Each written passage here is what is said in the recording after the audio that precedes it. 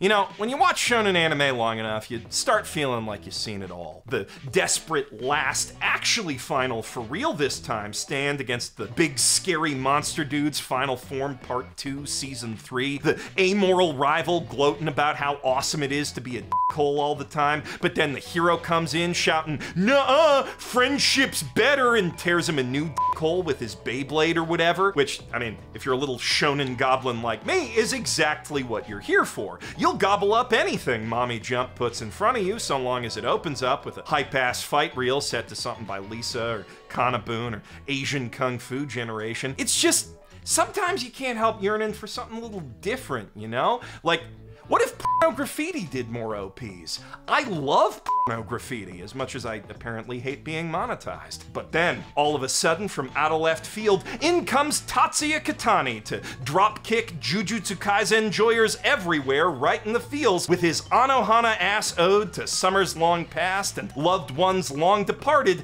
titled Where Our Blue Is which somehow managed to be all that and also simultaneously the hypest shonen action anthem this year. Until they got a new one five episodes later that was somehow even hype-er.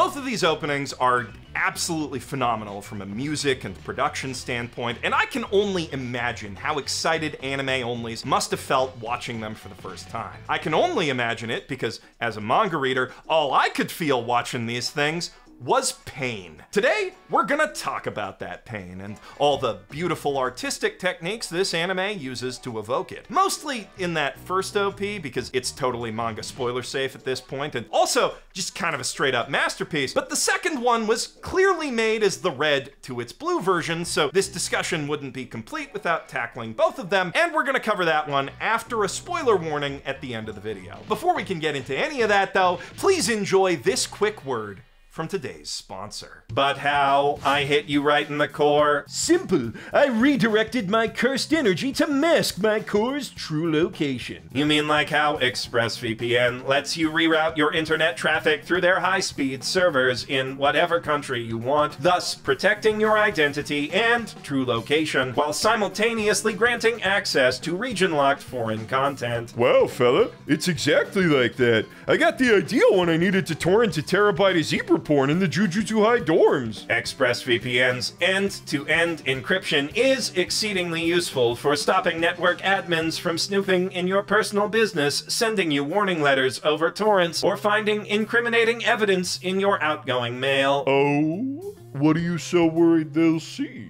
Uh, I am addicted to sexting. Robots do that? I am not a robot. I am a cursed bubble boy who remote pilots robot like magic puppets from the comfort of my filthy bathtub. Everyone's got problems, bub. I didn't ask for your life story. I just wanted to gush about how cool, futuristic, and convenient it is that if it were physically possible for a talking panda to visit the US or Canada, I could still watch shows that aren't out there yet, such as the latest seasons of One Piece or Demon Slayer, right on Japanese Netflix. Sometimes I set my location to Hawaii just to pretend. Yeah, ExpressVPN sure is great. Not a day's gone by since I got three months free by going to expressvpn.com slash basement that I don't think about how reliable and shockingly fast their service is. Agreed. I also got my free three months by clicking that link, which is located in the doobly-doo. Say, oh, this has given me another great idea. Let me borrow your phone.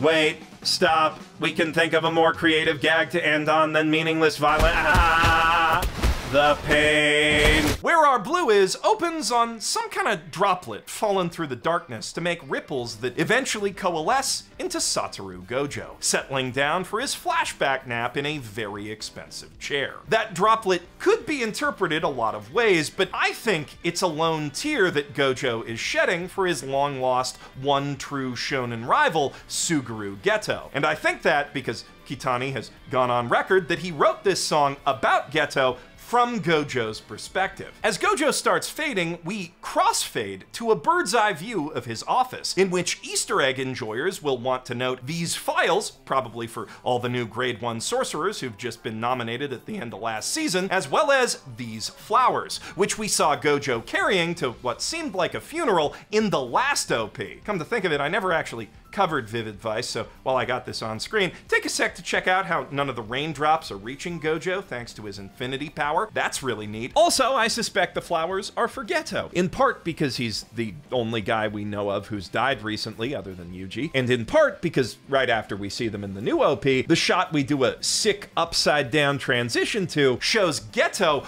walking away from Gojo in the same outfit he wore in front of that KFC. What's more, he's walking away into the light.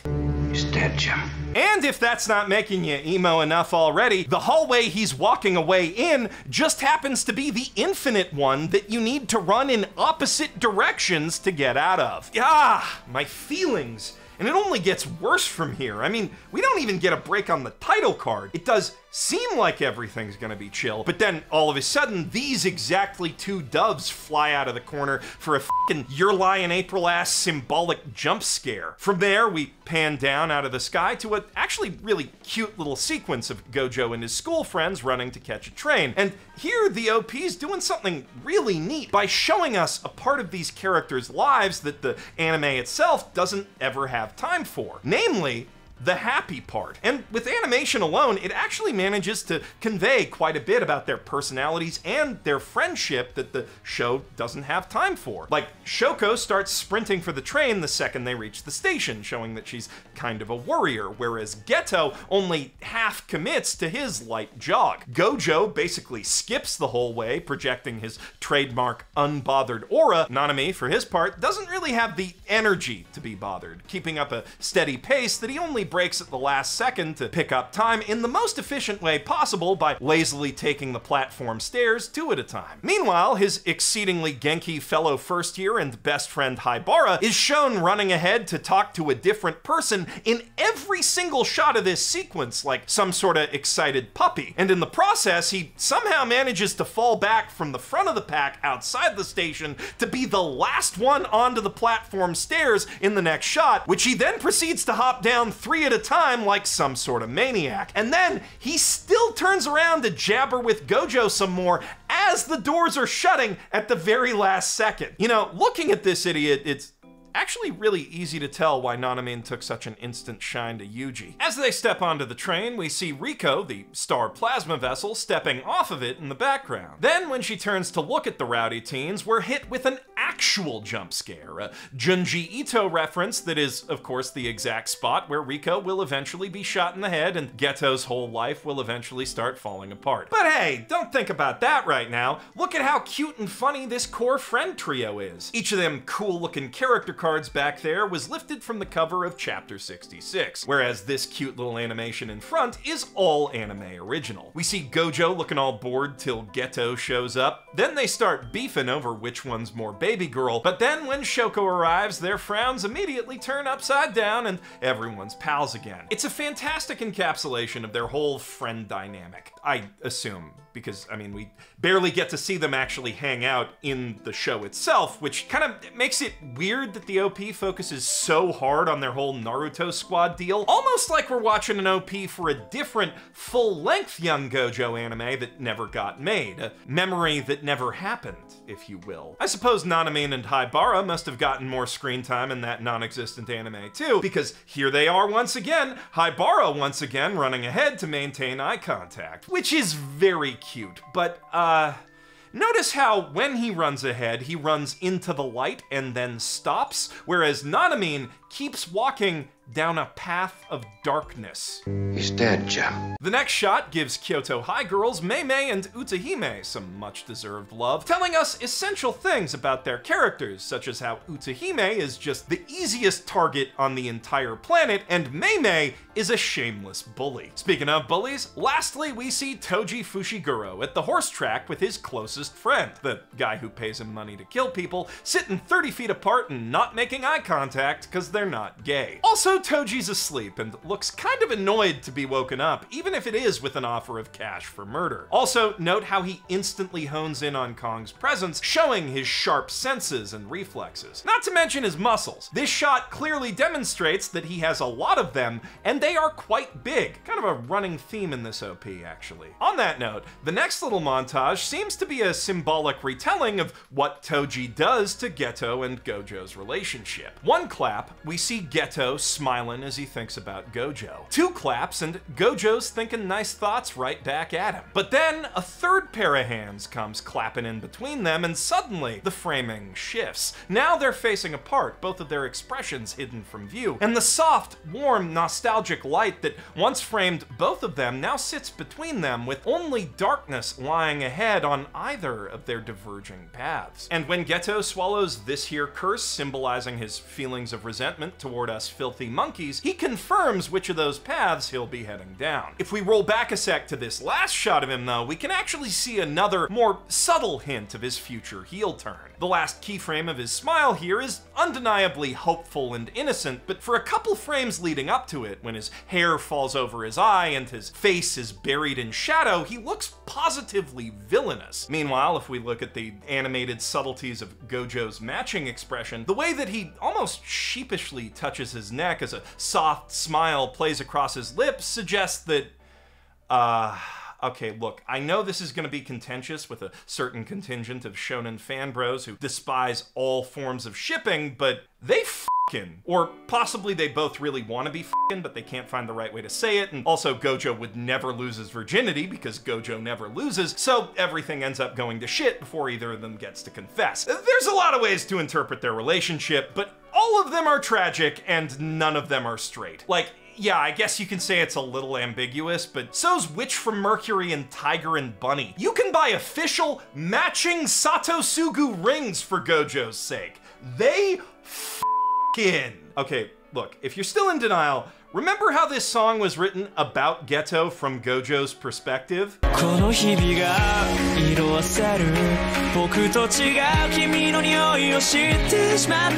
Yeah, sorry, there is just no heterosexual explanation for that. And actually, I'm not sorry, because the romantic dynamic of their relationship makes the whole story so much better and adds a ton to rewatches. Once you realize that Geto is the only person Gojo ever truly loved and vice versa, besides their respective adopted kids, of course, there's suddenly a whole new layer of emotional weight behind stuff like Geto going apeshit when he thinks Toji killed Gojo, not to mention when Gojo says, 肉体も重力もこの目に映る情報はお前をゲトウスグルだと言っているだが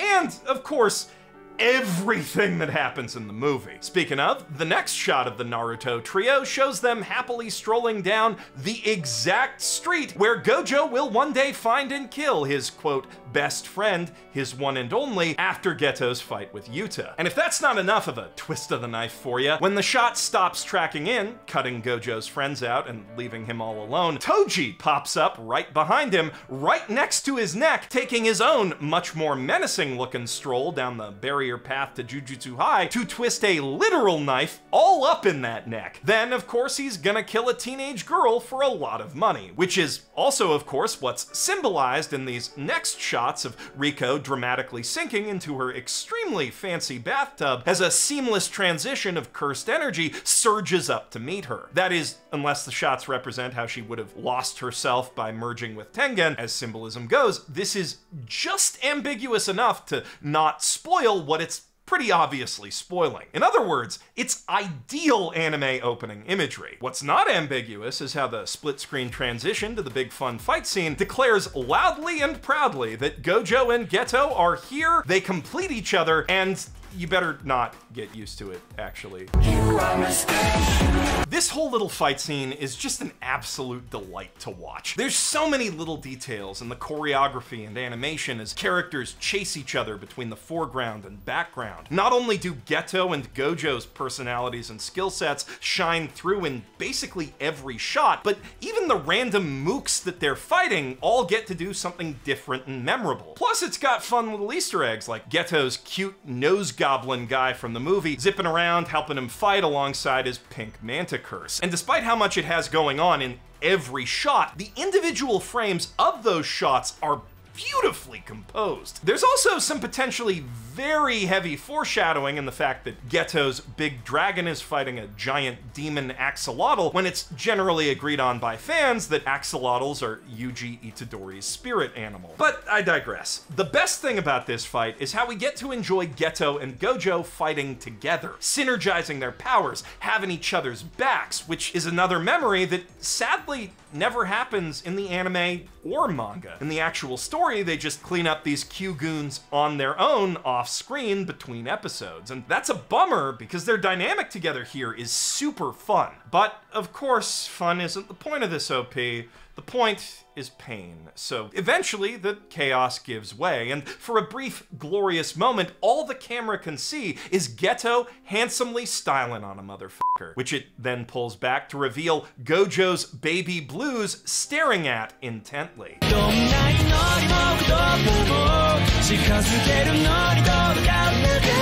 If you can find a heterosexual explanation for that, there is a job waiting for you at Bandai Namco. On that note, the next thing we see is this random little gag of Yaga Sensei sending both them dummies flying for being dummies in goofy slow motion over the lyrics in such a color as if it were a silent love. While you're thinking on the obvious implications of that, if we rewind and focus on the foreground of that gag, before Shoko smacks Haibara, the way that she's holding her hands over his limp, beaten body almost like she's trying to use her healing powers while Nanamin stands behind them unable to look subtly foreshadows the Genki young man's eventual fate.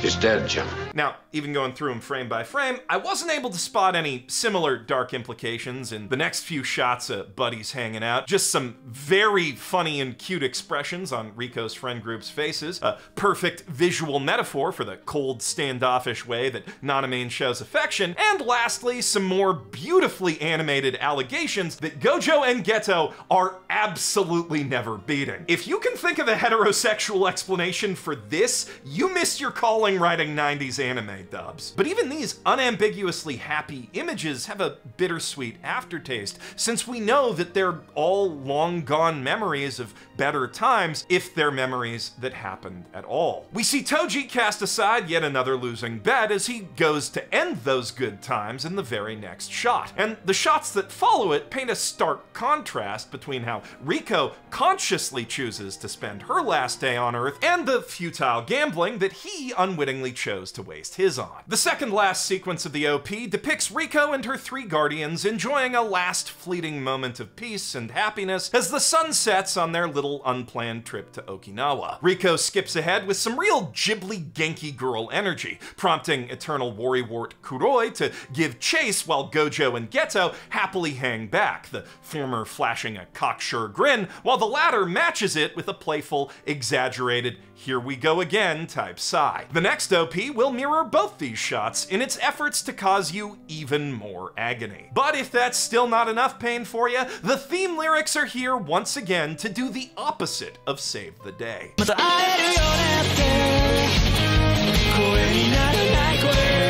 According to Kitani, those are what he believes Gojo's unheard last words to Geto were in the movie, which would almost certainly be the most emo thing in this whole very emo song, if not for how the OP ends.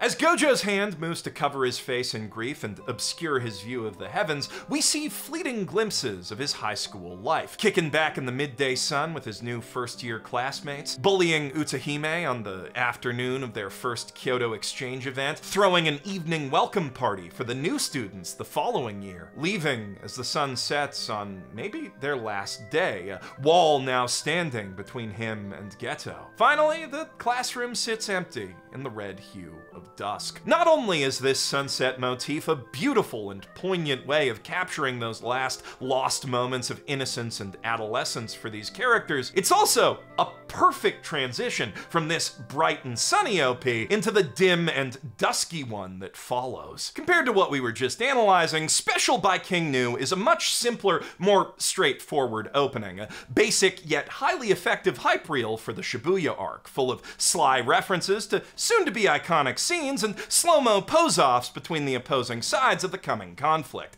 like a roster reel for anime WrestleMania, which is all it really needed to be. I mean, Shibuya is the most epic shonen action event since the Chimera Ants. Simple as it is, this OP is undeniably top tier. It just it doesn't give me all that much to work with vis-a-vis this whole video essay thing, beyond, you know, pointing out all the spoilers it has hiding in plain sight, which is fun, but if you're an anime only and it's not December yet, that is what I'm gonna be doing for the next rest of the video, so probably wait till December to watch more, or you could just read ahead. That's also a great option, but whatever you do, if you're not caught up to the end of Shibuya yet, I would highly recommend that you pause this video now and please and thank you, come back to finish it once you are. Now that I've said that, every extra second of this video is a view retention liability, so let's start talking spoilers. After we get through the first 10 seconds or so, that is, which show everyone who's in the upcoming arc making their way along a temple path like some kind of festival or funeral procession, or maybe a war march. There aren't any spoilers in these shots beyond who's gonna be fighting, but there is some cultural symbolism in everyone leaving the sacred protection of the Torii Gate, indicating that heroes and villains alike are putting their lives on the line in the coming battles. But only two of the five shots have any deeper meaning beyond that. The first one, of Yuji turning back to face us before following the parade, highlights that this is his and a lot of other people's last chance to turn back, which of course, none of them take. And, of course, this shot parallels the split screen from the last OP in the saddest way imaginable. Though, fair warning, the imagery only gets more ominous as we head into the title card. Okay, the first shot under the title seems innocent enough, just an unusually red view of Shibuya Scramble, but then the camera starts panning down into the depths of the underground station where nothing good is gonna happen. The first not good thing we see is all these civilians getting sucked down there from the street, though it does look quite good with this whole Virtual Boy slow-mo aesthetic. That's followed by a shot of an onusa, a wooden wand used in Shinto purification rituals, surrounded by swaying banners, more festival imagery, which in turn gives way to this sketchy animation of a hatching cocoon, symbolizing the moment in his fight with Yuji where Mahito finally ascends to his true form. Then, as we reach the bottom floor of the subway, we see the prison realm embedded in the tiles at Pseudo Geto's feet, and the camera follows Gojo into its pitch black eye, transitioning the OP into yet another series of cool and dramatic, but not particularly meaningful roster shots. Starting with just about the most nightmarish blunt rotation of Jujutsu High staff and students imaginable, and ending with a very cool 3D effect shot of all the curses waiting to ambush Satoru in the tunnel. Speaking of, he of course shows up again in the middle of this sequence, looking all serious as he struts alone down the crowded street to Shibuya Station. Actually, just about everyone in this sequence looks all serious like all the time, which is kinda my only complaint about it. The animators put so much effort into making everyone look all stoic and badass at a very smooth frame rate that very little individual personality ends up coming through in the animation. Like, here, the only really meaningful body language from any of these many characters is the one dirty look that Maki shoots her dad right at the start. The one exception to this lack of personality is, of course, Mahito, who looks to be having an absolute hoot as he skips through a passenger train, Cronenberging up the joint. These shots really sell his essential charm as a villain, the eternally playful eagerness to seize each new day, try new things, and hurt new people whenever he can, like an evil Monkey D. Luffy. I guess you can count Pseudo Geto's evil grin at the end of the tunnel as personality too, but all that really tells us is he's got some wicked plans cooking. One of those plans is set into motion as Jogo unravels an Uber Eats delivery of 10 fingers for Korone, which he then accidentally delivers to Yuji. This causes our hero to writhe about in a daze amid a haze of shadows from countless passers-by, his own shadow shifting out of sync with his body as Sukuna prepares to kill all those off-screen civilians. The J-horror vibes continue with a shaky handheld shot of a camera whipping around to reveal fragments of some horrid old prophecy on a faded ancient tapestry, foretelling the arrival of Dagon, Jogo, Hanami, and Mahito, and reminding us of how ancient and godly these villains really are. Speaking of godly, the next guy we see is Aoi Todo, kissing his locket as he squares off with Mahito's Cronenbergs in a shot lifted straight from the manga. Next, his Kyoto classmate Mechamaru makes a Mother effin' Ava reference as he also prepares to get his ass kicked by Mahito, which ultimately prompts Miwa to cry as she clutches his precious parting message to her chest. The next shot of Yuji turning into Sukuna, in addition to being absolutely badass, is definitely the internet's favorite part of this OP. Out of context, it's ideal meme fodder for when you're, for instance, losing an argument on the internet, but then you notice a dove in the other guy's profile. As far as its meaning in context goes, the flames and cocky grin are clearly an allusion to Jogo's very one-sided fight with Sukuna, although the gross mouth that the camera flies out of at the start is probably a reference to the mouth that Mahito hides in to sucker punch Yuji in their fight, and that's after he turns back, so it's kind of a confusing shot. But there's no confusion as to what the next shot shows, despite how abstract the animation here gets. That is clearly the ocean of corpses spat out of Dagon's mouth as he transforms from a cute little octopus guy into a big scary octopus man, which is, um, actually not what a Dagon is, Mr. Akutami, sir. That's clearly a Cthulhu you've drawn there, but I digress. As the wall of water rushes forward, we can see Naobito Zenin, Maki, and Nanamin fighting the current to varying levels of success, and both these shots really impress with the polish and energy of their animation. But this next one of Yuji and Todo Tarzan sliding at Mahito blows them both out of the water. This shot is just Sakuga-tastic, perfectly capturing the personality and techniques of all three fighters. The two sketchy black and white impact frames that hit when Todo claps and swaps, in time with the beat of course, are just juicy. I love this effect. And the way the shot ends with Yuji leaving his besto friendo behind to face old patch face one-on-one subtly foreshadows how the full fight will eventually go down. Speaking of spoilers hidden in plain sight, the next nine shots are basically just a bunch of those, each one gorgeously animated with that stylish red mood lighting. Starting with Jogo, who freaks out and flames on for his fight with Sukuna, then Choso, who freaks out under the sprinklers that Yuji activates in their fight, as our hero's as yet unexplained curse technique, quite possibly the literal power of friendship, floods his mind with memories that never happened of them being long lost brothers, just like how Yuji brainwashed Todo. The next shot has to hide its subject's identity in shadow, since, you know, it's obviously a pretty big spoiler that Toji comes back, but once you know that spoiler, the fact that he's upside down makes it pretty obvious. And the shot after that is just as obviously the moment Yuji's attacked by Pseudo Geto right after his fight with Mahito. Meimei certainly looks badass with her huge ass axe slung over her shoulder and all her crows exploding all over the place here, although the effect is somewhat diminished when you remember that she totally runs away from her big fight down in that tunnel. Once again, to avoid spoilers, the person being charbroiled by Jogo over here is also hidden from view, although if you look closely at his right hand,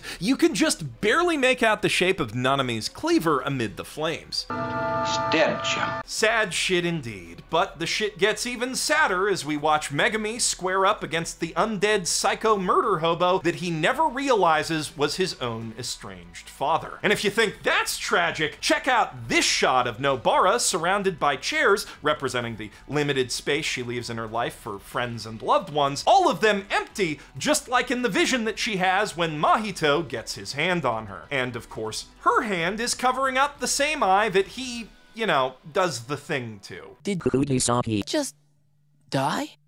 You know, it was really unclear. And as much as I want to keep the Cope alive for Best Girl, her prospects here really do not seem good, considering the next shot shows Jujutsu Dr. Shoko, who might have been able to save Kugisaki, but, quote, don't get your hopes up, slumped over a chain link fence for a depressed smoke. Which is technically a reference to an earlier moment in Shibuya that has nothing to do with Nobara, but yeah, really just feels like they're saying it's Gojo over here. Speaking of, the last spoiler of this spoiler montage is, of course, the scene where Gojo gets sealed in the prison realm, specifically the moment where he sees Geto and all the memories come flooding back all at once. Note how his eyes have already lost their blue luster due to the cube sapping his powers. This leads into a very cool abstract animation sequence where the hand signs for various curse techniques and domains seamlessly morph into each other in front of abstract backgrounds representing those techniques. First, Sukuna's malevolent shrine, then Mahito's idol transfiguration, Dagon's horizon of the captivating Skanda, Jogo's disaster flames, and Choso's convergence surrounded by spears of blood. Todo, appropriately, gets the coolest moment, at least from an animation standpoint, his hands clapping along with the beat as they keep teleporting to catch up with the camera. The next hand sign is Megumi's, specifically the one he uses to summon his most OP Shikigami, Mahoraga, which he can't actually control yet. This is his big desperation move. Literally him saying, I'm gonna kill myself and then you. And while the first time we actually see him use it is here in Shibuya, if you pay attention, you'll notice Megumi almost does it